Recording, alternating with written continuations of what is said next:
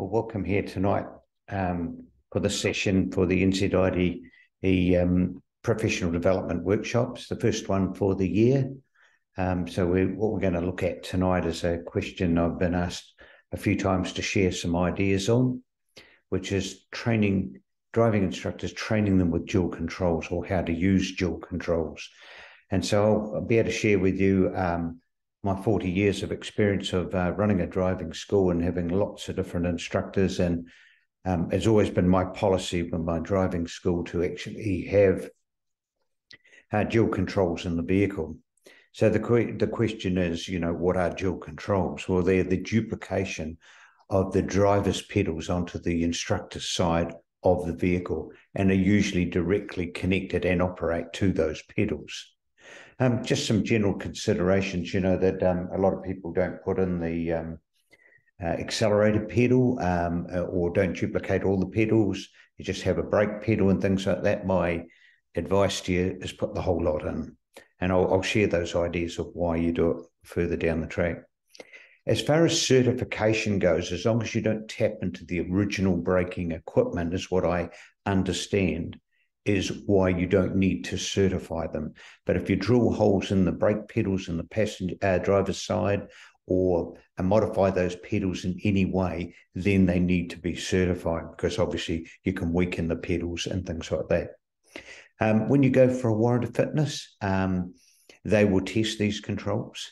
Uh, they will check that the brake. I think it's it's not got to have um, it, it's it's not going to have braking to the capacity that you would from the driver's side. So as long as it's um, it, it's effective. Um, reason why they test them at warrant of fitness time, there have been some incidents where people have made and fitted up their own dual controls and things like that. And uh, I record one incident that I heard of. I don't know if it's true or not, where they went. Um, person was driving on the motorway. The instructor applied the brake, and they couldn't get the brake back off, which obviously caused a bit of mayhem. Uh, being able to get the car out of the way and somehow get it unlocked. So they will check it at warrant of fitness times.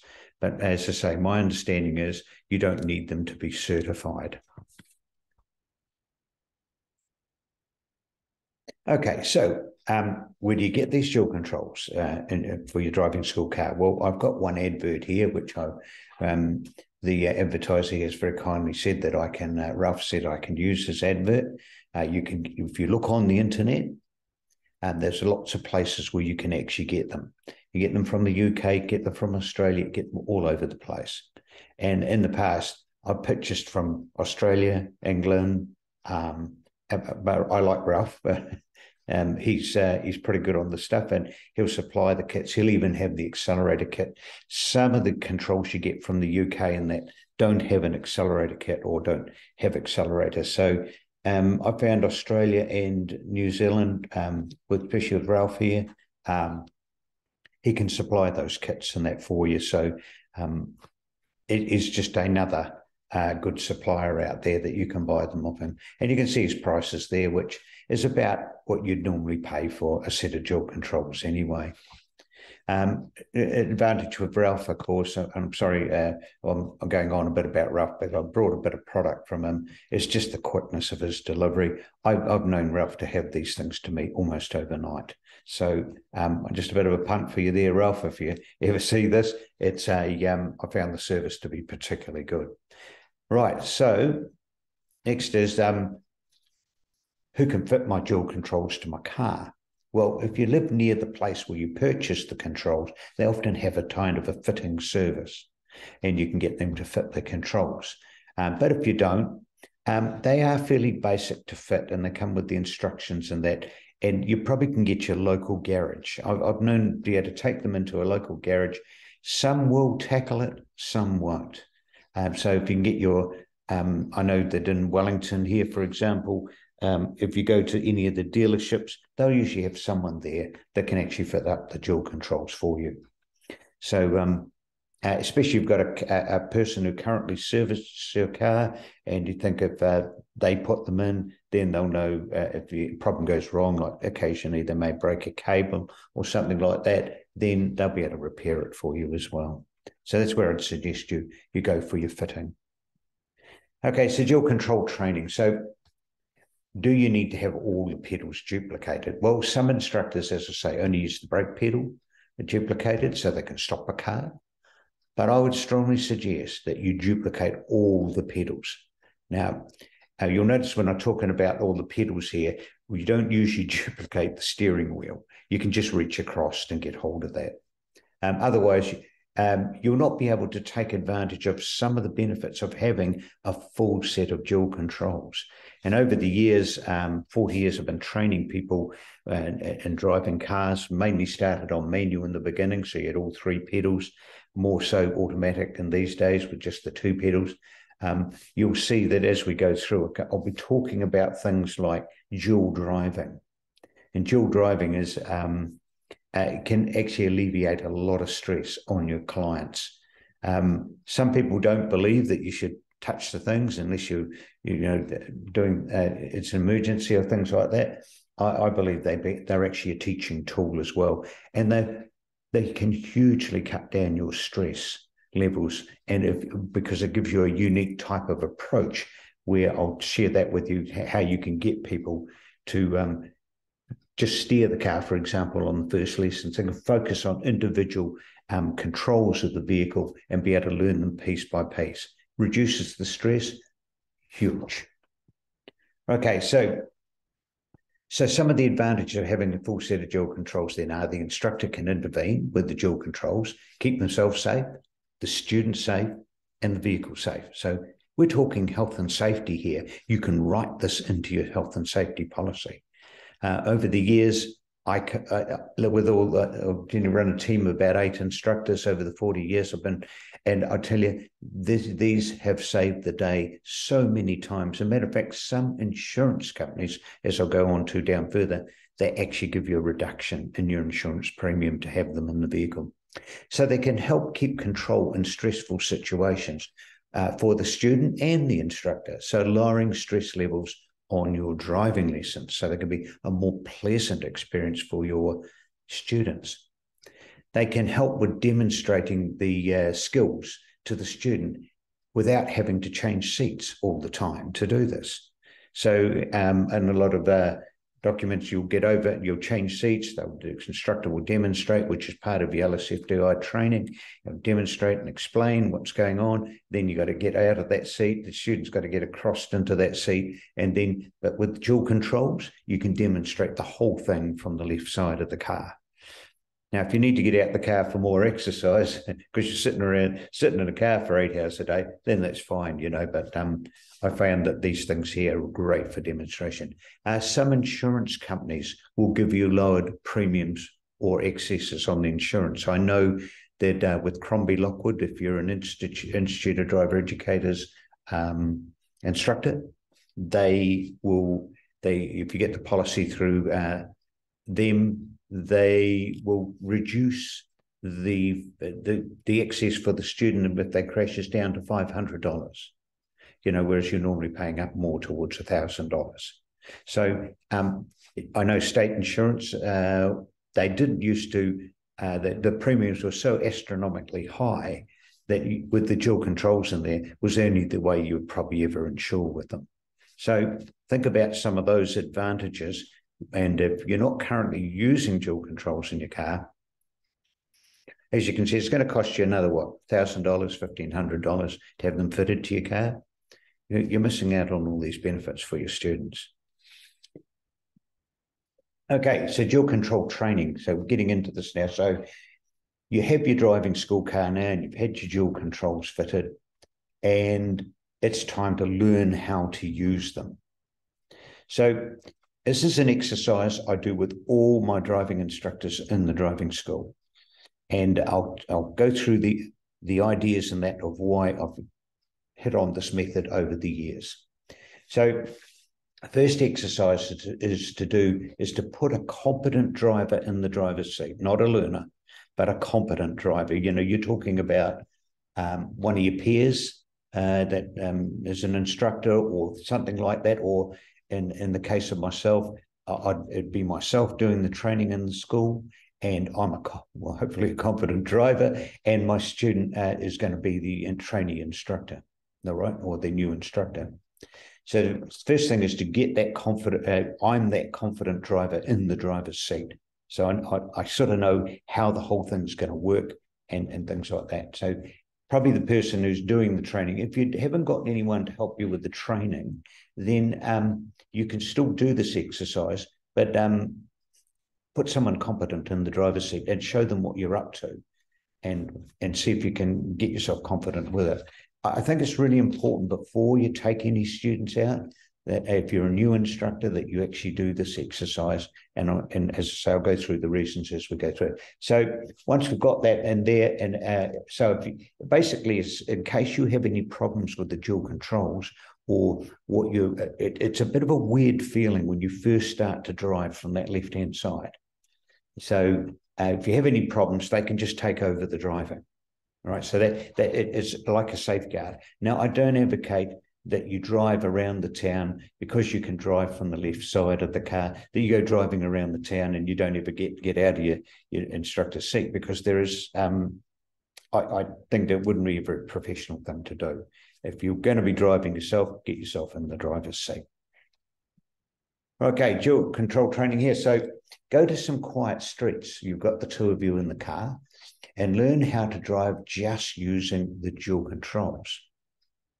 Okay, so you'll get that to the side of the road, you'll pull in when it's a nice quiet area. I'd suggest you do do it like you train a student, take it to a quiet area and go around the block and do stopping and starting and all that sort of thing. So now you'll need to reach across this to the steering wheel so get the person, the competent driver, to sit back a bit in the driver's seat so that you can get your hands at the steering wheel of the vehicle and from uh, in the in the driver's seat, and they, that can help you get an idea of how how this can be done from the instructor's seat. So you're going to have to reach across.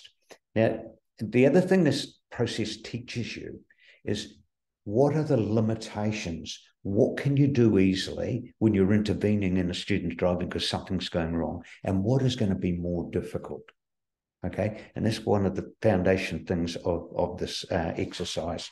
And of course, to get yourself used to the other seat, uh, driving from the other seat.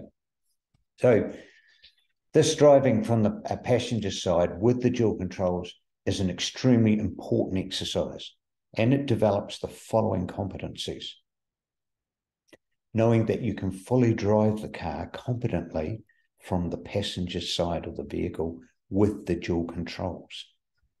Now, you can imagine how much um, I sometimes I've picked up a student and they've got into the driver's seat, for example, and I've said to them, look, um, they've said to me, oh, I'm a bit stressed about this. I, I, don't really want to start from here and things like that. And sometimes I can second them into the idea, says, look, don't worry about it.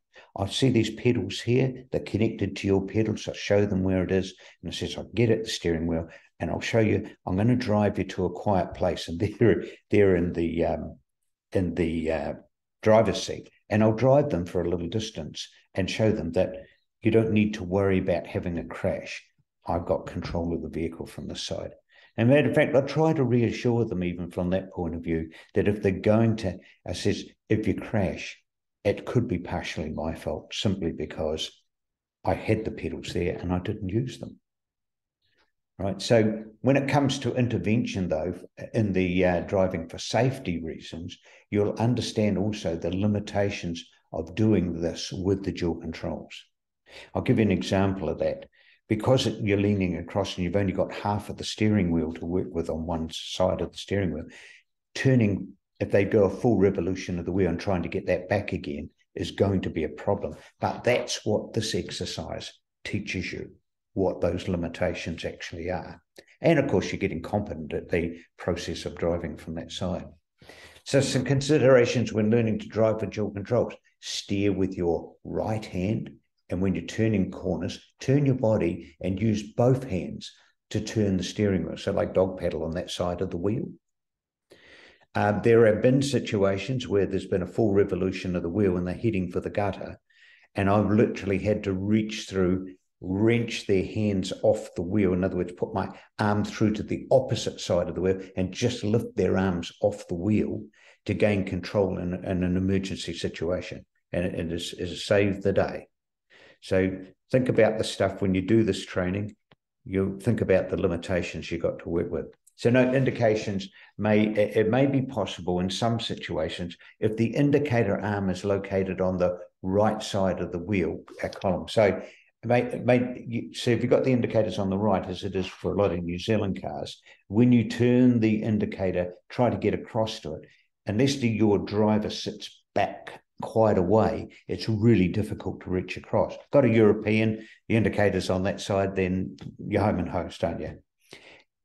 You can, if you get real difficulty with that and you want to be able to gain control of the indication, you can get what is called an indicator extension. And what it is, you go to people who do disability driving, they will do, they'll make one up for you. It clamps onto your current indicator on the right side and brings an arm across the top of the steering column and out the side. I've often been thinking of putting one of these on for those drivers you get in the car and they've been driving European, and then you want to get them to drive uh, that you've got a car on uh, with the indicator on the other side, they could be back at home again with an indicator on the other side. It's not a big modification. It's a clamp that goes around that indicator on the right hand side. There's a little bar that comes over and comes up where the indicator would normally be on the right hand side of the steering wheel. Could you it also help you get at it if they fail to indicate as well?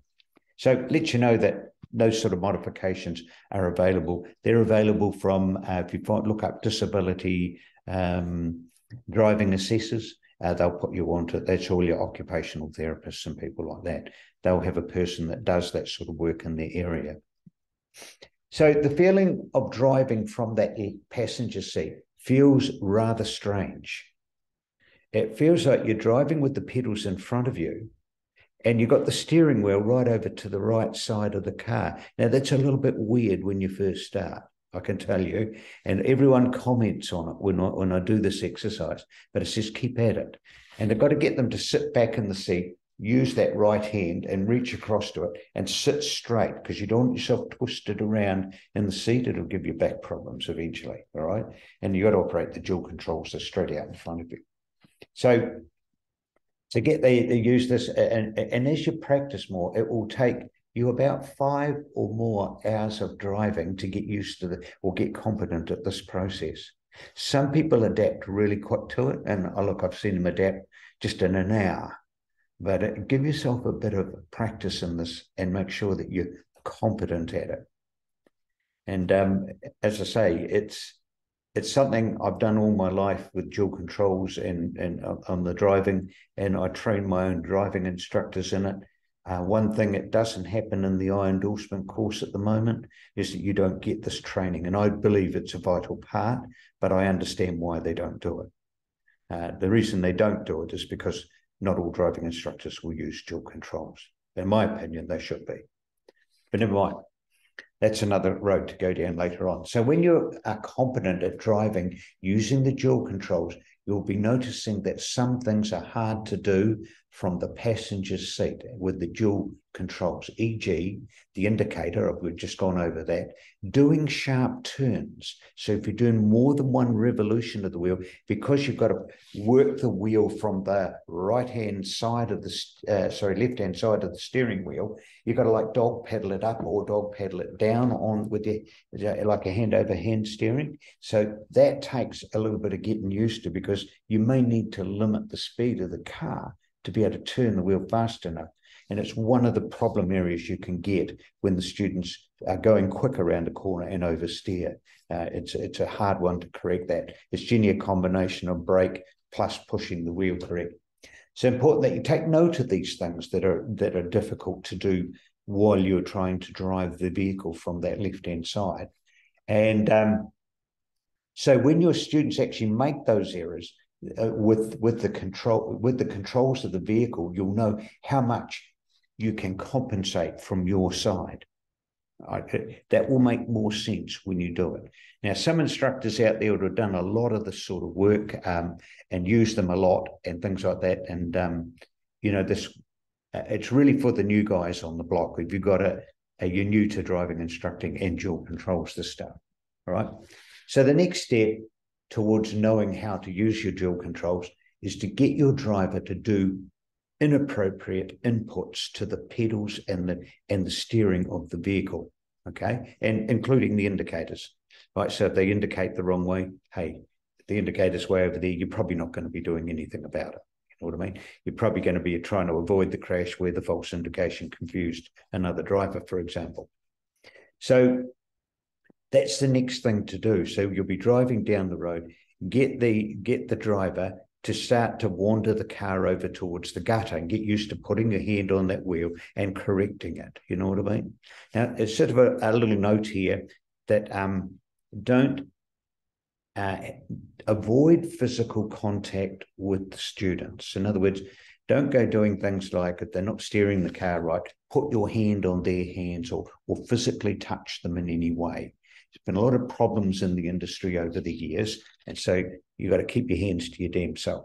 And if I need to intervene with the wheel, I'll usually put my hand under their hands on that bit that's free and push it up or pull over the top and grab over the top. So you don't need to, um, um, you know, and you know, in years gone by, there's been inappropriate instructors over the 40 years I've, I've known, um, been in this industry. Some instructors are using inappropriate um, physical intervention. Try to avoid the physical intervention altogether, just unless it's with the controls of the vehicle. So, um, and how to use the dual controls in steering and to rectify the different wrong. So the problem is that the students put wrong inputs in on the like too much gas, too little gas, too much brake, too little, little brake, uh, too little brake, uh, and so with the clutch and the gears and things like that. So Steering errors can usually be corrected by pulling or pushing of the steering wheel away from the hazard. Note that your dual driving exercise that you did earlier, you will now know that in sudden situations, you'll only be able to react with half a turn of the steering wheel. So using the dual brake as well in that situation may mean the difference between hitting the curb, for example, or um, pulling get pulling them out of the way of an oncoming vehicle or things like that. So you're only going to get half a turn of the wheel in a sudden emergency. You'll be able to push on that wheel and push it half a turn one way or the other. Right. So yeah, as I say, this is stuff you've got to learn. You've got to get someone to do some mistakes. Now, be careful while you're doing this because if you your, your driver gets too exuberant on it, start gentle and work it up to a point where you can learn where those limitations actually are. Okay. Now, too much gas. So this time the students actually put their foot on, on the dual, uh, uh, uh, put the gas pedal and they're frozen with their foot on the floor. Now, remember, first intervention is verbal, foot off the gas or whatever words you want to use for that. If it's too late for that, or it's uh, the situation's developing too quickly, then the normal thing to do with that is to put your foot on the brake, the dual brake, and drag the engine down. Now, be careful here. Um, so, with the in the manual cars years ago, we couldn't push the clutch in because the engine would over rev. Um, just check out with your um, manual. Most modern cars now have got what they call rev limiters on the motors. So they'll go up to the red line and they won't go any faster than that in the motor. It'll it, has got a cutout system on it and stops it going any faster.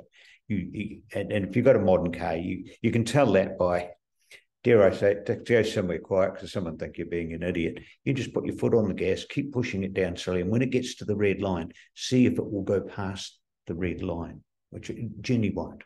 It'll just it'll just hold there and it won't go any further. So too much gas. So the floor of the gas. Now remember, they you can say foot off the gas, okay, but that's fine. But remember, if they're um, you got the fight or flight mode when people come under stress, and now you can be saying foot off the gas, and it's not going to come off because they're frozen there. So you've got to think, well, what am I going to do?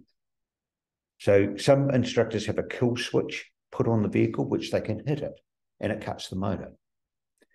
Um, I, I, would suggest I've never used a kill switch on any of my vehicles, but I know if I put my foot on the brake and if it's make sure your brake pedal's good enough for this too, the dual brake, and you put your foot on the brake and you can literally just slow the car down and kind of stop it. Now, some other things to think about here. You've got a you've got a manual car with a clutch. Um, Jenny, if you um, you push the clutch in, what'll happen is the motor will just rev right up. If you've got time, just push down the brake and stall it out. You know what I mean? Uh, is a, a, way you can do that, or until they, in other words, sometimes you can just slow it down enough with the brake, and they'll actually they'll hear you then, and they think, and they've they've snapped out of it, and they'll take their foot off the uh, the gas. Now, be extremely careful of this stuff when you're training new people. Eh? It's it's highly dangerous, and you might say, well, I wouldn't take them in that sort of environment. Look, it can happen in the simple environments. I've had people freeze on the controls. We had one instructor, um, they put their foot on the gas, uh, the student put the foot on the gas pedal. Before the instructor could bring it under control, they'd gone through a fence and into a house.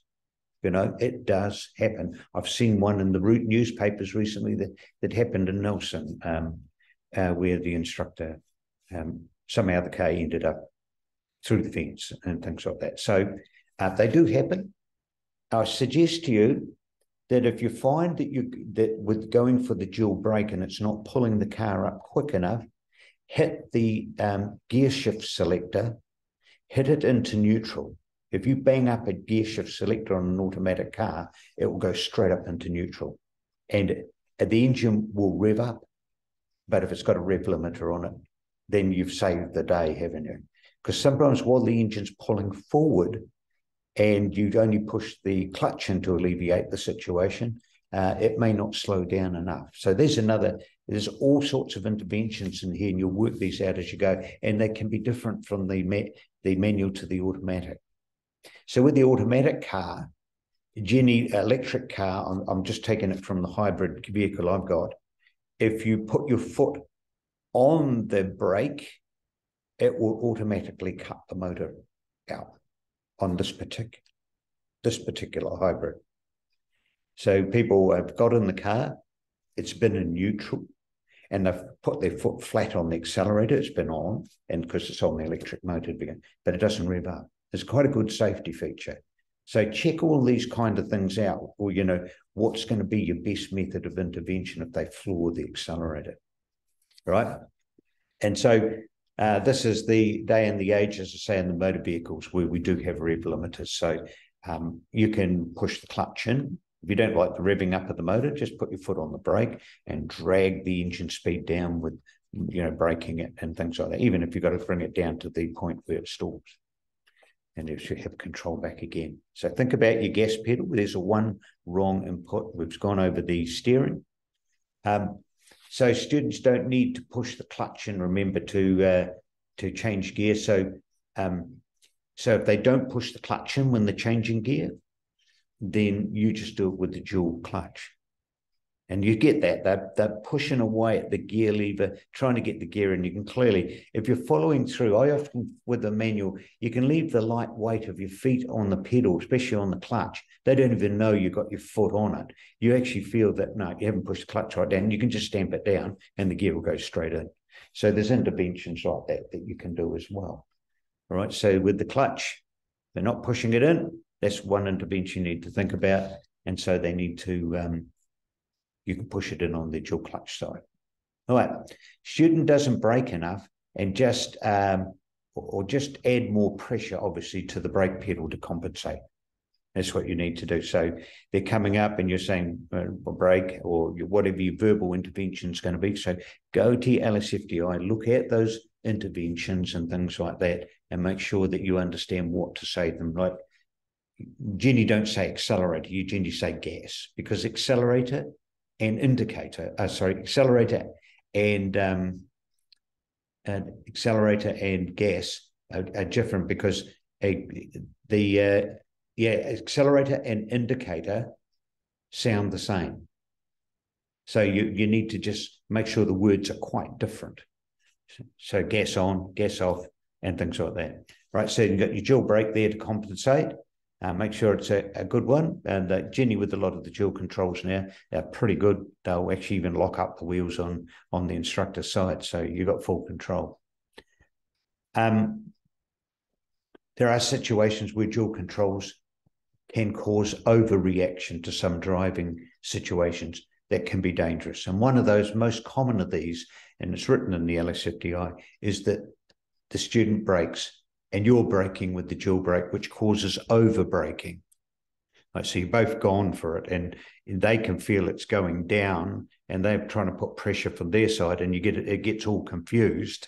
And so, as a result of that, you have the most common type of crash in a driving school car is a rear end collision because of this factor here of over braking. Right, so you've got to be you, you get used to it after a while. You get to, you, you exactly know that how to intervene with the situation uh, with that. But uh, I've got to say, we'd had over the years, we've had more people running into the back of us. And some instructors say, well, that's not so bad, is it? Because they're legally liable. That's not the point. The point of the matter is your car is off the road eight weeks getting repaired and you've got no damn income. So think about, you know, that you don't want to be um, if they're panicking with all these controls or they're, they're misusing them badly, keep the driving situation simple. Don't go into complex traffic. Keep away from it until they're fairly proficient. Especially, I, I go to, especially with this one, to the manual car. I reckon it takes uh, at least a third longer to learn to drive a manual car than than you would an automatic car. So you know, it's going to take them a lot longer to get the clutch and, and all those sort of things worked out as they go. Right. So you can try to alert the, uh, uh, to, uh, you to the situation and using dual controls, but the best way is to learn from experience. So um, you need to go out there and do the stuff, and you need to do it without the students in the car to start with. You need that competent driver beside you. So well, let's have a look at this table on the next slide and see what sort of ways you could react with dual controls. So, okay, so here's your, your, your situations. You can see it pretty much follows all of the control inputs in the vehicle. So the most important part, uh, uh most appropriate dual control intervention, and what do you you need to do to um, be be aware of in the following situations. So steering too far to the left or right, or not straightening up the steering wheel soon enough on sharp turns is a really common steering wheel intervention. Too much gas, uh, or not enough gas. Obvious with those two extremities, or too much brake, or not enough brake. Remember, the, the gas pedal is not. I find is not so bad but the brake is there's when you push the gas on, the systems in the vehicle will take care of it if you brake and things like that. But with the brake, pushing on too much brake, you can't put your foot under the dual pedal and lift it up. It, it, the brake that's on is on, and there's nothing you can do about it in many ways. It's what makes that rear end collision so common. Clutch, not let, letting the clutch out or not pushing the clutch in enough when the gear changing is a really common one here. And you can even use the dual controls. I was talking to you about the, to help them find the uh, the connecting point of clutch, friction point, whatever words you want to use for it. Um, extremely good for that. So, and while stopping and starting, you know, is, is okay. They don't push the clutch right in, and you can just push and remember clutch to the floor into first gear. You know what I mean? So um, think about your commands. And instructors have been teaching for a while where this will be kind of automatic in you. Indicators not signaling or signaling in the wrong direction. Uh, uh some of the more common ones there. Right, let's have a look at where we're going with this now. So, in summary now, make sure that you're totally confident with using your dual controls to drive the car from the passenger side of the vehicle right? Get the drive the, the driver and the student uh, of the vehicle to simulate. So you've got your driver there, you've got your your student is the um, you probably you at this case, and get them to simulate steering inputs that are wrong. In other words, turn too far to the left. Have a go at this one. Go round a 90 degree turn where you have to turn the steering wheel about a complete revolution of the wheel and this are really uh, some of the ones I can speak to you about. Some of the ones over the years I've had where I haven't quite managed to get the wheel straight. So big left turn coming around, and then they accelerate. And before they, they hit, you can imagine they're not straightening up the wheel and you're heading towards the gutter. if you don't get onto that brake and get that wheel away, and you may not even be able to retrieve it at that level either. And you can end up going into the curb. And it usually blows your left front tire and it can bugger up the left front suspension, which uh, one day I was coming up, we were coming up to an intersection and we were going to do a left turn, but I gave the command in the wrong order. And this is why it's important that when you give the students um, commands and things like that to what you want them to do, that you do them in the correct order. And also, if you go through the in the LSFDI, it talks a bit about the stuff.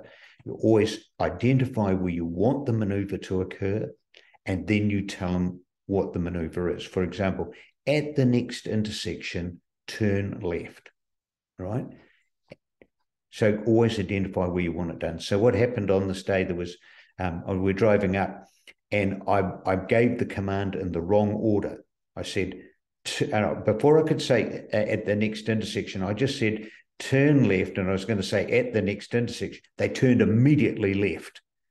I tried to correct it, but that that particular day resulted in uh, bending the left front suspension of the vehicle. So, as I say, I've been around long enough to know what sort of things happen. I don't mind admitting them to you as well, because they are very real danger out there, and it's not the student's fault. A lot of the time, you'll find that you've misread it yourself or things like that. Um, so get them to put the wrong pedal inputs and the wrong steering inputs in and know that how much from your training when you drove the car from the left side, how easy it's going to be to correct that. What is the appropriate correction? What pedal to use? And it's not always the same pedal. You've got the gas on and they've got the gas flat to the floor. You might be onto the brake. You know what I mean? So if the clutch is not down enough, a lot of the time it is the same element, but sometimes it may be another one, either the gas or the brake or the clutch, to where that actually uh, what's appropriate. Uh, remember, if verbal intervention doesn't happen, use your dual controls and keep everyone safe. I'm talking about the public out there. I'm talking about your students. I'm talking about you, and I'm talking about your vehicle. So I'm hoping with um, tonight, with um, just sharing some of that stuff with you, that you'll get an appreciation of when you become a new driving instructor, that you'll go out and do this exercise. And as I say, um, I'll just touch on one other point. I'll come back on the slide here so, so the screen's not blank for you. I'll touch on one other thing called dual driving. Now, dual driving is where you I start all students that never haven't got any clue about driving. I do the pedals, they do the steering, and I can intervene with the steering because I've done the dual driving exercise. I know how far they can go and what amount of intervention I, I would have available to me. That's why that exercise before was so important to you. So I know that, so they get to steer the car. Then I, I stage it through. They then get the gas pedal and then they get the brake. Then they got the that's the functions of an automatic, isn't it? Right. Then they get the clutch if it's a manual, and then they get the gears. They don't get to do the whole lot. I've always done it that way, and I find it super, super good. But the problem is that when you've got three pedals on the floor, you have to be able to. And I learned this um, procedure from flying. When you learn to fly a light aircraft, there's there's procedures they use to make sure that you, your student does things um, and you know who's got control. So when the dual driving with the manual car, which is not very often these days, we get a lot of that work, but we're driving up and I'll say, right here, we're going to now use the gas pedal. So we're going to dual drive this. So I'll get them to sit at the side of the road. They've got the steering. They've been around um, a lot of the coastline here where, where I train for that, where it's nice and quiet and they've got the steering. Now, steering to me takes around about one hour on most people before I'll introduce the pedal. So I've known people to take five hours. The it's for some people it's just a, a, not an easy thing to do. So don't be too stressed if they're still just you're doing the pedals and they're still just driving with the steering wheel. They need to be able to proficiently drive. Now, what will happen the moment you introduce the gas pedal and you introduce the brake or the clutch or the other pedals on the floor, the steering immediately goes out of control. So be ready for it. The reason that happens is because their mind has just moved down to their feet. So um, you can simplify this process, but um, even more. So this is what I meant about dual controls and how to simplify what the how complicated it is for them to drive at the time. Now, some instructors will go to a car park, they'll do stop starting, stop starting, and they'll get them all used to it and then bring them out on the road. I leave them on the road. Uh, they they they they do everything on the road. So they'll go into, um, they'll do the, that, and then I'll give them the gas pedal and said, okay, and I use the command gas on. And sometimes I'm talking about what I'm doing with my feet so that they are getting that idea as well. So gas on, gas off. Then it's brake, more brake, get brake off. Some of the commands you use there. And so you can get, get them actually driving. A lot of time with the automatic, you can introduce the gas and the brake all in one because it's not that complicated to do. You've got a go pedal and a stop pedal, basically, haven't you? So um, with the uh, manual, though, it is quite complicated. And we used to do a thing called dual driving, and they would get the they get the functions of the automatic car, and I would be so when I needed them to bring the gas off, I would say, right, I'm going to change gear. I want you to take the gas off, and you'd have to wait for them to take the gas off. Acknowledge.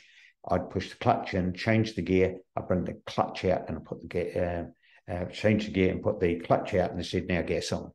Right, gas off, gas on. You know, then it was they had the brake function, and then you can bring in the clutch. And then you've got to get those feet going, one up, one down. And then they get all complicated with that. But you see, with a full set of dual controls, how simple you could step that across. I step it across from the right hand side of the car, accelerator, then the brake, then the clutch, then the gears. Some instructors won't break it down that much. Some people don't need it broken down that much. They can handle it a little better. But if you want to, let you know that you can break it down that much for the, your students and make it really easy for them to actually pick up this process and drive. So that's what I want to share with you tonight. So um, I'll put this up onto the uh, site, and you guys that missed it tonight, feel free to um, have a little look at it and it's a thing I've been wanting to share for a long time. People have sent me um, uh, text messages, things like that, to say um, who teaches dual control training in the country. Well, we should, the fact of the matter is we should all learn it. That's my opinion. Um, most instructors that have gone through with me and they've they've gone out and they've um, been driving and they said, I didn't think that the students would do that. And I says, I'm glad you gave me that training because I reacted absolutely appropriately. So that's why a few hours of it. Get your driver, your competent driver, to do things like don't bring the clutch out and rev the motor up. Work out what you're going to do about that. Uh, get get them to put too much brake on. See what you can do about that. You know what I mean? Get them to do wrong inputs with every pedal, not enough, too much, and things like that and all the controls and make sure that you are thoroughly familiarized with how to take the appropriate action. And then, you know, the, that they say to you, did you do anything towards health and safety in relationship to your dual controls and getting these, um, having dual controls in the car and doing this training has uh, hugely, we hardly ever have any um, insurance claims. But if we do have them, um, in some ways, I've got to be asking the instructor, why didn't you intervene early enough? Now there is the odd occasion, I will say, and I've had them, so I can't I can't let you guys be thinking here that um, somehow that's some sort of miracle cure. It's not, but it's definitely, you know, it would avert eighty to ninety percent of the um, stressed situations you get for the students and and the near misses. All right. So I'll leave you with that, and we'll uh, catch you now. If you uh, do view this next week's ones, uh, we're going to look at what to do if you've got your a new student for the first time. In other words, you don't know much about their driving, etc. So I look forward to that one next week, and um, it's a good night from me.